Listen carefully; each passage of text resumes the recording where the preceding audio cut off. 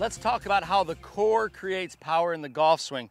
If you've seen my signature series video, you'll see that I use a noodle here. And what we use this noodle for, and this is simply a noodle that you'll find at the pool, um, we're using it to find balance in our posture and in our swing.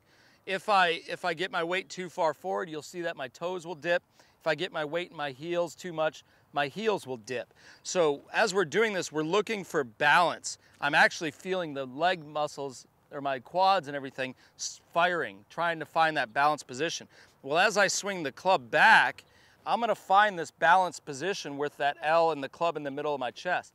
If the club goes outside too much, I'm, my toes will dip. If the club swings back and it comes into my heels, uh, or behind me, my heels will dip. So you can really use this to find that first position in the golf swing, which is the L in the backswing. Now, what we're gonna do is we're gonna take the same noodle and we're gonna teach you how to create more power using your core. And all you're gonna do is you're gonna set up here, and as you do this, you're just gonna swing it back short and quick, and you're gonna create this power. And what I'm doing here is what I'm feeling. You could probably hear it in my voice my, my stomach, my muscles are, are tightening up. I'm swinging this short and fast.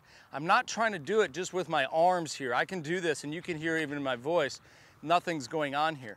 So it's really gotta come from the core and doing it short and quick, just like this.